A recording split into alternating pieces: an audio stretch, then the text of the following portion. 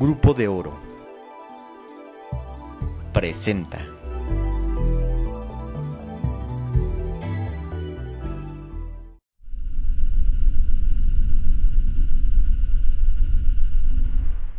Para el Partido Revolucionario Institucional, obtener la gubernatura de Michoacán, así como el mayor número posible de diputaciones locales y presidencias municipales, es básico para la estrategia electoral del tricolor rumbo a la elección federal de 2012, reveló Manuel Cavazos Lerma, secretario de Acción Electoral del PRI.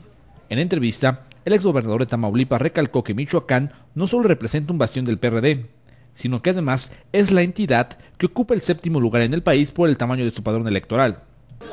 Bueno, Michoacán es muy importante porque es eh, prácticamente el sexto, séptimo padrón electoral.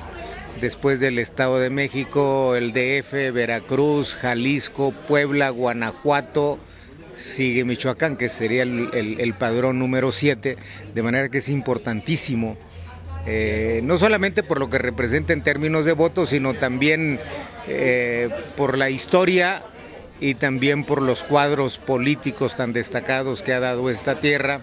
Y, eso, repito, hace que ocupe un lugar prioritario Michoacán en este escenario nacional.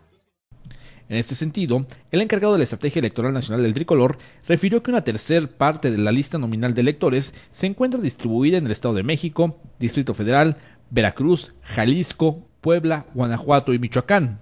Por lo tanto, para cualquier partido, esos estados deben estar en sus cálculos electorales.